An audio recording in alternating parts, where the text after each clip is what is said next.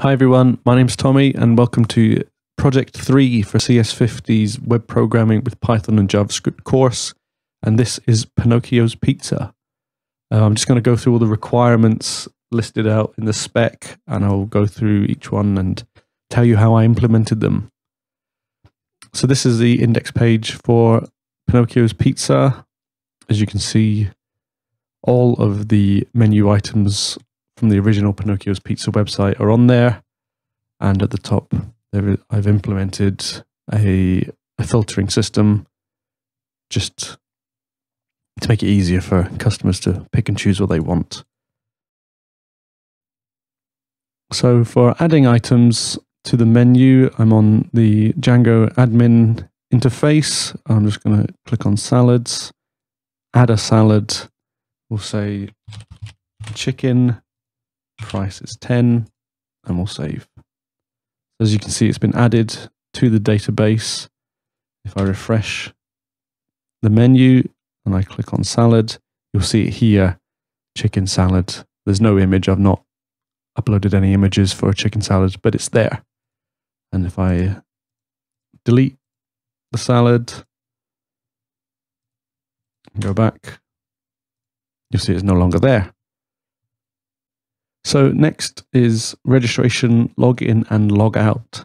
If I click on register, username, I'll type in YouTube, first name, YouTube, email, password, and confirm the password. Click register, account created for YouTube. And if I log in,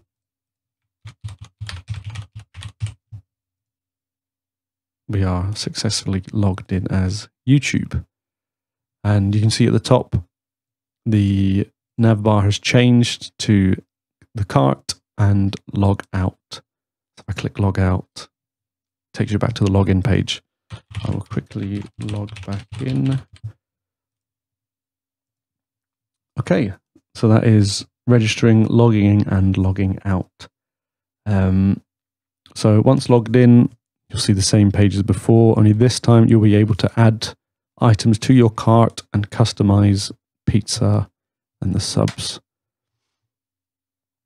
So if I wanted three toppings pizza, I can click between regular or Sicilian. Subs, same, choose your size, small or large. So if I click on three toppings, Sicilian, click customize, it takes me to a page where I can select the size and the toppings of the pizza. If I go large, you'll see the price updates at the bottom. Let's just click three toppings. Probably never going to taste good together. If I click add to basket, it'll take me back to the index page and you can see the counter has gone up. I now have one item in my cart. So if I click on the cart, it tells me my cart, large Sicilian three toppings pizza, and the three toppings, the total price, and I can place the order. If I go back, so if I wanted chicken, pasta, add to cart, and you can see that it's gone up again. Click on it again, price has been updated, and the two items are in my cart. So if I place the order, it takes me back to the page. And if I go back onto the cart, it tells me my order, my previous orders, which was three toppings pizza and the chicken pasta for the price, and it's in progress. So what does that mean? If I log out and log into the admin account,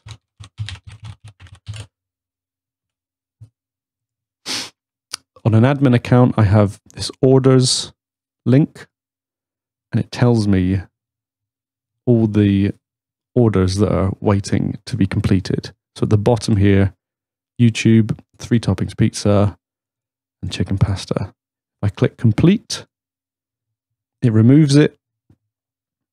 And if I log back into the YouTube account, go back onto the cart, and it's complete.